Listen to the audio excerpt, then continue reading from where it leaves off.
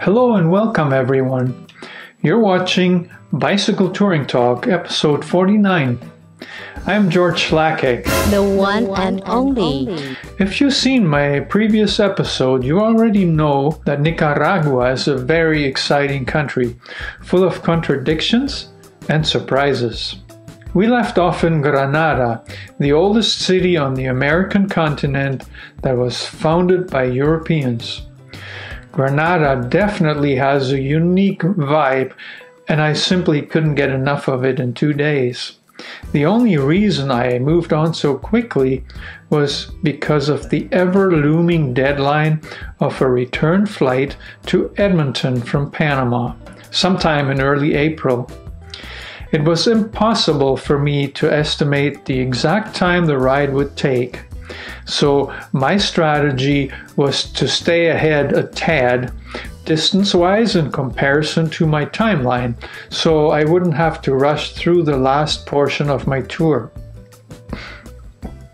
I left Granada on the morning of February 19th. The ride started off like a charm, with a tailwind strong enough to forget about any hills at all. I was flying and loving it. Overall, cycling through Nicaragua was a lot of fun. But I'd be stretching the truth if I told you it was easy. The problem of the day started in Nandaime when the route took a turn south. Now the same strong wind was trying to push me right off the road, which it actually did a couple of times. Adding to the struggles were some big trucks passing me so close it made me quite nervous. The road had a shoulder, but it was very narrow. I couldn't help but wonder if any of the drivers that passed had stopped at one of the many roadside bars for lunch and also enjoyed a few beers or even mojitos. My plan had been to reach San Jorge by late in the afternoon and stay there for the night. When I eventually got there, it turned out that the best places to stay were not here, but on the island of Ometepe. I had seen the two majestic volcanoes in front of me for some time, and it had seemed like I was headed right for them. But it turned out they were on the island about 15 kilometers offshore. Boats were available, and it was an easy decision to wait for the next one. In the meantime, I was going for a late lunch at a great little hamburger stand. They either really knew how to prepare a burger or I was just super hungry from cycling. I just remember gobbling up the meal like a hungry wolf. Unfortunately, that was a big mistake, as you'll see in a bit. See, the first boat available happened to be one of the smallest of the entire fleet. I had no clue how rough the passage would be, but the wind I was telling you about earlier never really let up. The boat had a cargo deck up on top, and the passengers were seated on benches down below. This was an ancient wooden boat. Just boarding it felt like an adventure. My bike with all its luggage had to stay on the cargo deck, but I was able to take off the handlebar bag with my valuables in it and throw it over my shoulder. It took some time for the boat crew to load all the cargo they had to accommodate. There were packages of various goods, building materials, a motorcycle, and even a couple of those big water tanks that people typically have on their roofs here. By the time we left the shore, my biggest worry was what time we'd get to the island and whether it would be possible to find a place to stay so late in the day, possibly after dark. The real challenge was of a totally different nature, but in my entire life, I had never experienced something like that. See, I'm known to have what they call an iron stomach. It means I seldom get sick from food, even if it's not perfect. This time was different. But I'm sure it had nothing to do with the quality of the hamburger I had eaten just before boarding. The sea was extremely rough, and so was the passage in the heavily loaded boat that also seemed to be top heavy. The burger? Hmm, yeah, it ended up in Lake Nicaragua, and unfortunately on the deck as well. It actually barely missed a fellow passenger because the wind even carried that all over.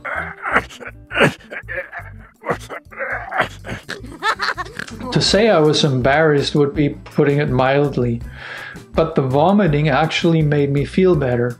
I had been trying to control it, sweating buckets, but then a big wave lifted the entire boat in a swooping motion, and my stomach emptied itself. As bad as it made me feel, the crew seemed to be used to it already, and someone mopped up the mess right away. I had been taking pictures of the island from the water and was feeling bad for having stood at the front of the boat looking at the rough sea, so I spent the rest of the passage on the passenger bench. I couldn't get on firm ground soon enough now.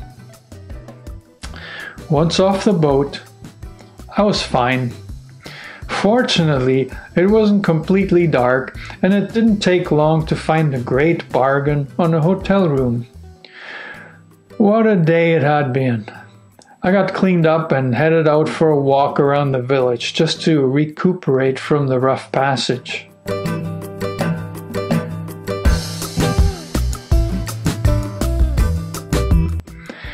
I returned to the hotel, I noticed a young couple in front of the door next to mine smoking cigarettes.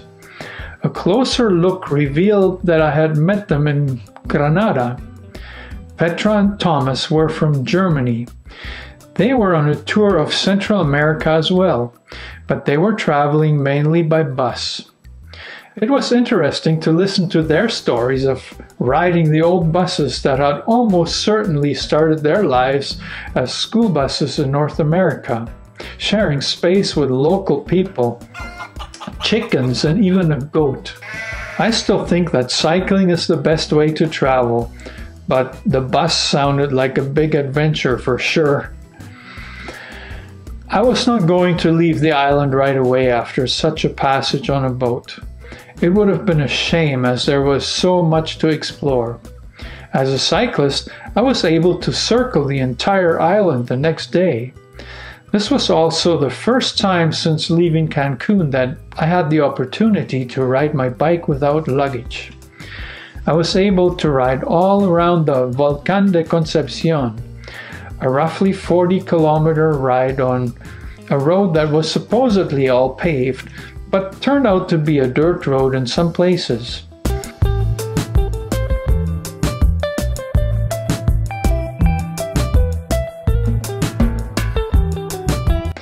I passed through the village of Moyogalpa and finally stopped in Altagracia for ice cream. It was a beautiful sunny day and the strong wind from the previous day was no longer there. Ometepe Island is another unique feature of Nicaragua that I didn't even know about before stumbling upon it. This island alone is worth an extended visit, and it was also quite popular with tourists. You can hike up the volcano here as part of one of many guided tours that are offered. As a cyclist, going around the volcano on my bike really gave me a unique experience that very few tourists go after. On the way back to San Jose del Sur, I saw many beautiful places that were untouched by tourism and even saw a herd of cows enjoy their free time on the beach. If you're going to Nicaragua, plan a day or two or more on Ometepe Island. You will definitely not regret it. Except maybe wait for the bigger ferry instead of taking the earliest available boat. Your stomach might appreciate it.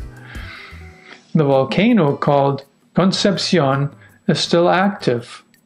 Along my way, I met some hikers who were about to climb up there. One lady who seemed very athletic told me it was quite dangerous and should not be undertaken without a guide. After my longer than expected bike ride, I got to enjoy and photograph a beautiful sunset before discovering Ichido's Pizza for supper.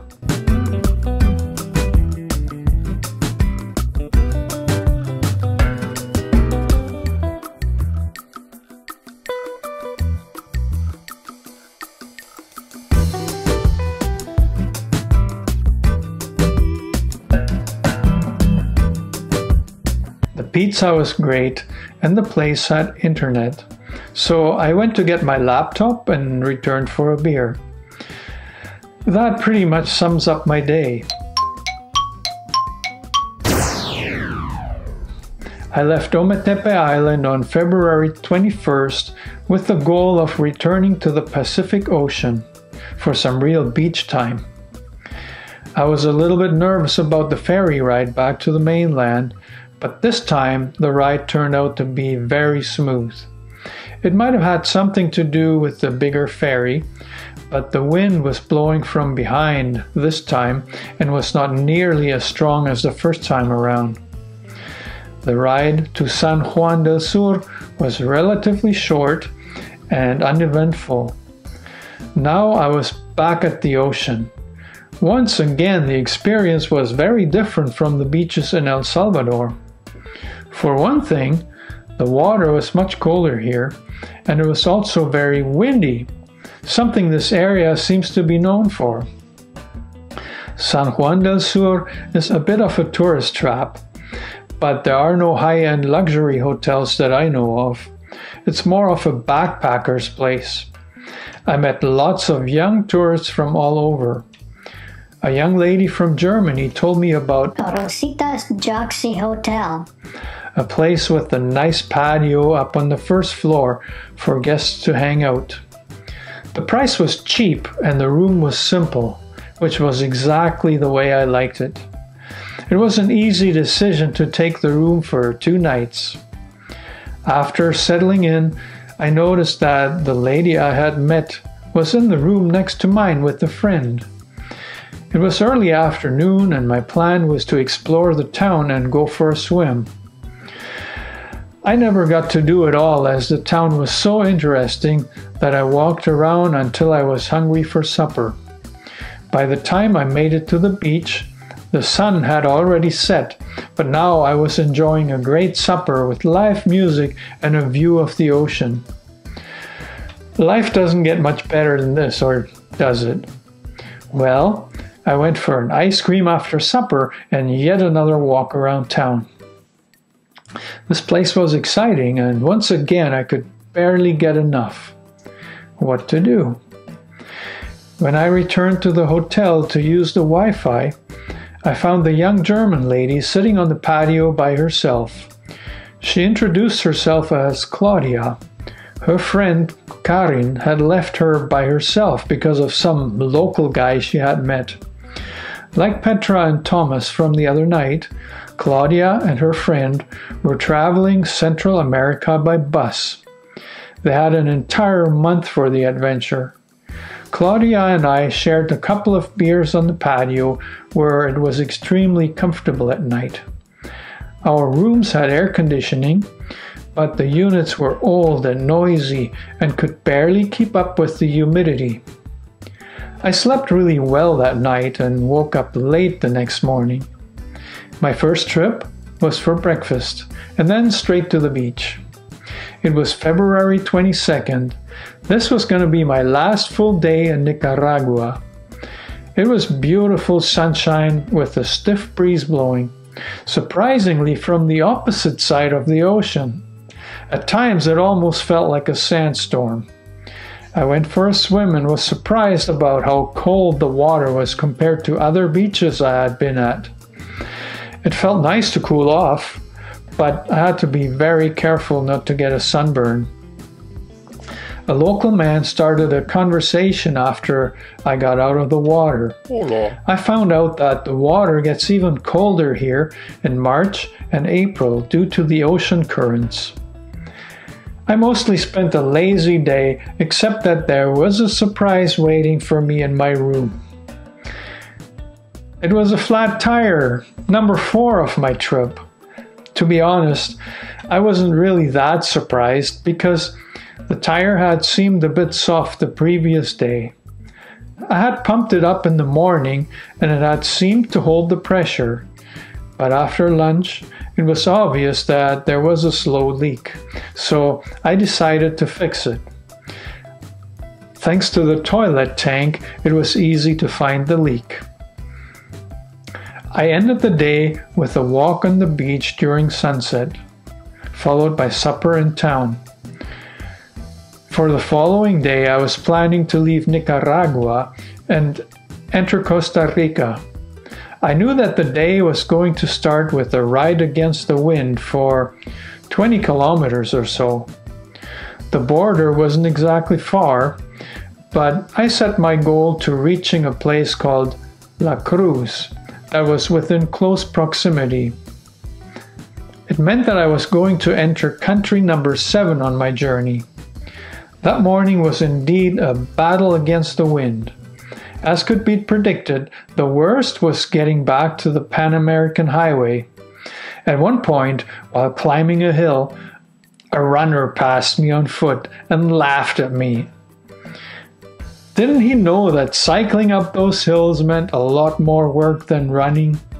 Not only was I hauling my own weight, but also about 80 pounds of bike and luggage. Once I was back near the shore of Lake Nicaragua, I blew my last Cordobas on some cookies and a bottle of Pepsi. That, as it turned out, was a mistake. My last impression of Nicaragua were some wind turbines that were going to be erected. The blades were mind blowingly huge. Here I was, ready to cross another border. What was going to expect me in Costa Rica? I already knew that Costa Rica is the most popular country in Central America when it comes to tourism. Was this a good thing? Find out when I come back next weekend with the 50th episode of Bicycle Touring Talk. Yes, that'll be a bit of a milestone. I hope you enjoy this series, and if you haven't yet, Support my channel by subscribing. Mm, yeah, I say that a lot because it means a lot. So thanks for that.